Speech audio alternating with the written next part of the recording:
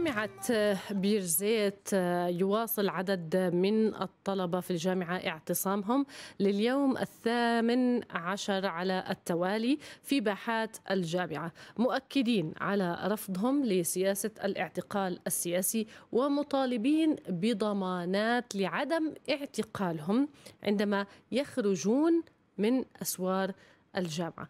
18 يوم هدول الطلاب معتصمين داخل حرم الجامعة. بالبداية بدأ اعتصامهم ضد اعتقال طلاب آه، من جامعة بيرزيت بيرزيت اعتقالهم سياسيا. تم الإفراج عن هؤلاء الطلبة من الجامعة جميعهم ولكن الاعتصام مستمر وذلك بسبب آه، تواجدهم الدائم داخل أسوار الجامعة وخشية خروجهم من أسوار الجامعة لأنهم مهددين كما قالوا بالاعتقال.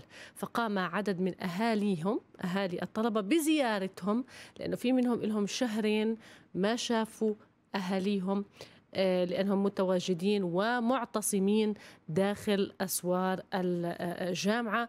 آه، قالوا لنا بأنهم يخشون الخروج من آه، أسوار الجامعة لأنهم مهددين كما قالوا الاعتقال. 18 آه، يوم إذا آه، اعتصام داخل الجامعة. هناك تم الإعلان من قبل مجلس طلبة جامعة بيرزيت اليوم عن برنامج فعاليات تضامنية مع هؤلاء الطلبة المعتصمين داخل أسوار الجامعة. آه، سنتعرف على المزيد من التفاصيل ينضم لنا عبر الخط الهاتفي المتحدث باسم الطلبة المعتصمين داخل جامعة بيرزيت إبراهيم الطالب الطالب إبراهيم بني عودة. إبراهيم صباح الخير. أهلا بك معنا. صباح النور. أهلا وسهلا فيكم جميعا. تحياتي للجميع. تحياتي آه، لك اذا أنتم إبراهيم 18 يوم متواصلين آه هذا اليوم بصير 18 يوم آه في اعتصامكم داخل حرم الجامعة. بالبداية خبرنا عن حيثيات هذا الاعتصام المتواصل الظروف اللي بتعيشوها كطلبة داخل آه جامعة بيرزيت أو داخل أسوار الجامعة خلال اعتصامكم. بخصوص ظروف الاعتصام في البداية لليوم ال 18 من داخل حرم الجامعة أنا الآن أتحدث وكل يوم يأتي أصعب من اليوم اللي قبل. إيه، أيام كل يوم له صعوبة إيه، مرت علينا أيام مطر أيام منخفضات أيام لا نستطيع فيها أقل شيء الخروج لقضاء الحاجة بسبب المطر الغزير. البرد نقص الاحتياجات اللي عندنا. كم عددكم الآن إبراهيم؟ أنتم كم طالب؟ الطلبة المهددين بشكل مباشر هم خمس هم ست طلاب تقريبا ولكن يعني بالمعتاد يكون في الاعتصام 10 ل 12 طالب اللي هم بشكل دائم موجودين نعم. في الحرم الجامعي. نعم إيه، ظروف الاعتصام بصراحة يعني كل يوم بتكون أصعب من اللي قبل بحيث كل يوم بتزيد الخطورة يعني في البداية كل يوم ابتعاد عن الأهل، كل يوم ابتعاد عن مسكنك، منزلك، إيه، عن حياتك هل الأكاديمية هل فعلا في منكم طلاب له شهرين ما شاف أهله أو له فترة طويلة ما شاف أهله؟ في في شيء أنا بدي انوه له تفضل. من بداية من بداية عملنا في الحركة الطلابية من شهر حزيران تقريبا أو قبل قام الاحتلال بملاحقة بعضنا. يعني على سبيل المثال قام باقتحام منزلي. من أنا منذ 19 5 لم أنم ولا ليلة واحدة في منزلي. من 19 5 من تاريخ 19 5 بسبب. تهديد ضابط الشباك بالاعتقال. آه إيه ولا ليلة واحدة انام في منزلي. كنت أنزل على منزلي مثلا كل أسبوعين نص ساعة مثلا إيه بشكل مفاجئ بشكل سريع. أنزل وأرجع مشان ما يصير علي عملية اعتقال تأخر إيه دراستي أو تعيق عملي في الحركة الطلابية. زاد على فبالفعل كانت رؤيتنا لأهلنا صعبة وزاد على ذلك صعوبة إيه من بداية شهر 12 أو من منتصف شهر 11 الحملة الأمنية اللي شنتها أجهزة أمن السلطة، يعني بالفعل إحنا كنا لا نرى أهالينا في الاشهر تعداد مجموع الساعات خلال الأشهر. إيه ما مش في بيوتنا. إيه مساكن متنقلة إيه أحيانا في مكان عند صديق في سكن إيه ليلة هون فيش استقرار أصلا في حياتك أنت نعم. كناشط في الحركة الطلابية مطلوب للاحتلال طيب. فتخيل الصعوبة اللي بتزيد لما أنت تصير أصلا مطلوب للسلطة برضه طيب شوف آه كيف كان دور إدارة الجامعة معكم وباقي الطلبة في في الجامعة آه، في البداية إدارة الجامعة اجتمعنا مع رئاسة الجامعة بشكل مباشر مع الدكتور بشار دوماني اجتمعنا وبلغناه منذ بداية اعتصامنا يعني في اللي إحنا بنتعرض له من تهديدات ومن وعيد بالتعذيب والتعليق والضرب وحطيناه بصوره إن إحنا قبل أقل من شهر كنا أصلا عند جهاز المخابرات العامة وفرجعنا قبل أقل من شهر.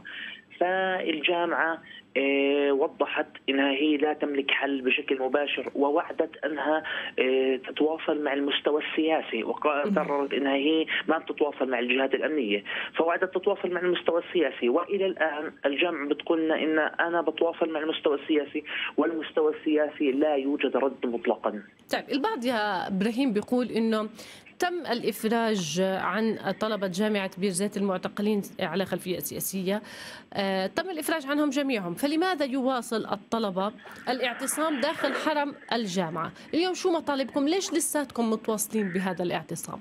بحب أوضح للناس صدق. جميعا إنه هؤلاء الطلبة المفر اللي اللي أفرج عنهم من عند جهاز المخابرات وجهاز الأمن الوقائي جميعهم إلا بعض الأشخاص كانوا يحملون تهديدات أشخاص آخرين مم. روح قول لفلان راح نجيبك روح قول لفلان مصيرك تطلع من الجامعة إيه فلان هي راح نجيبه فلان راح نعلقه كله مش راح ننساه طبعا يعني هذا الشيء الملح أكثر وهاي القضية الملحة أكثر أصلا اللي هي دعتنا نفتتح اعتصامنا. يعني أنتم تلقيتوا تهديدات بالاعتقال في حال خرجتوا من أسوار الجامعة. لهيك أنتم متواصلين بالاعتصام. صحيح إلى غاية أن تصلنا ضمانات بعدم الاعتقال. مطالبكم الأساسية اليوم هي ضمانات بعدم الاعتقال. وفي وفي أهم شيء يعني أنا بدي نعم. بدي أوضحه آه، في قصة الضمانات.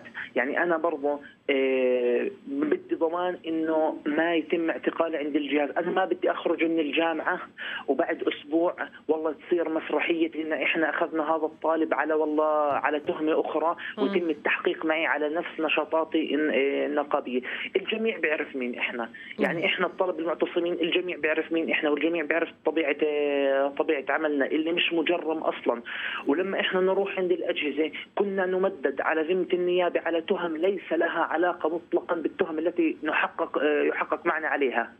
ابدا يعني تهم شكلية والتحقيق شيء آخر تماما. فإحنا برضو هاي المصيدة مش راح نوقع فيها.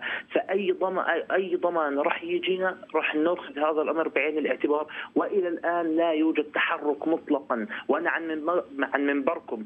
بناشد كل إنسان حر وكل إنسان في هاي البلد صاحب مسؤولية وبقول له في ضرورة إنك تتحرك. في هناك خطورة كل يوم إنه الجيش يقوم باقتحام الجامعة وعندما يقتحم الجيش حرم الجامعة عادة ما يقوم بإطلاق النار وإصابة الطلبة وهذا شيء حدث قبل أقل من عام مع أحد الطلبة مع الطالب إسماعيل البرغوثي. فلذلك في حال لو لا سمح الله حدث هذا الشيء وهناك أربع طلبة مطلوبين من الاحتلال في حرم الجامعة الجميع يتحمل مسؤوليه حياتهم. الجميع يتحمل مسؤولية ما حدث فيهم ليس الاحتلال فقط. انه الآن بإمكان الجميع بإمكان أكثر من جهة أن تقوم بالتدخل لإنهاء هذه الأزمة ولخلق حل.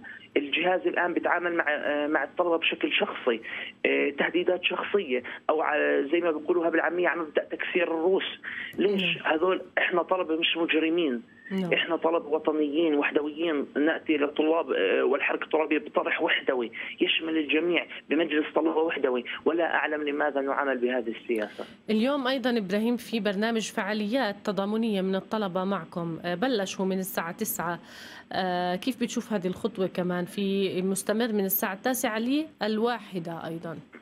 صحيح. هذه الخطوة من شأنها إشراك الشريحة الأقوى والأوسع في الجامعة وهي شريحة الطلبة. الطلبة شريحة مهمة جدا وحتى الطالب الآن يؤمن بعدالة قضيتنا والطالب الآن بس هو يتخبط يعني الطالب مش عارف بالضبط شو بده يعمل. فالفعاليات اليوم من شأنها إشراك الطالب في الاعتصام خصوصا معظم أيام الاعتصام تخللتها عطلة أعياد الميلاد. نعم. فكان الطالب بسمع بالقضية وبشاهدها على وسائل التواصل الاجتماعي. نعم. فهو اليوم بده يجي على الحرم الجامعي. يشوف زميله المعتصم يشوف ظروفه يشوف وين بينام آه، يتحدث معه. يعني هناك نقاش مثلا آه، تابع للجنة الثقافية في مجلس الطلبة ولنادي الكتاب حوارية عن الاعتصام. الطالب بحاجة يسمع كيف هو بيقدر بيقدر آه، يشارك. فبالفعل هناك كثير من الفعاليات في الجامعة اليوم إن شاء الله من شأنها إنها تشرك الطالب وتحطه بصورة تمام. الاعتصام. شكرا جزيلا لك إبراهيم بني عودة المتحدث باسم الطلبة المعتصمين داخل أسوار حرم جامعة بيرزيت. تحياتي لك.